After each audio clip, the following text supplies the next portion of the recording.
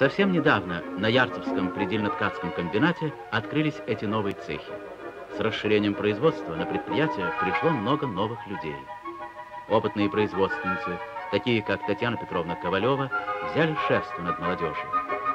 Непосредственно на рабочих местах передают они свои трудовые навыки.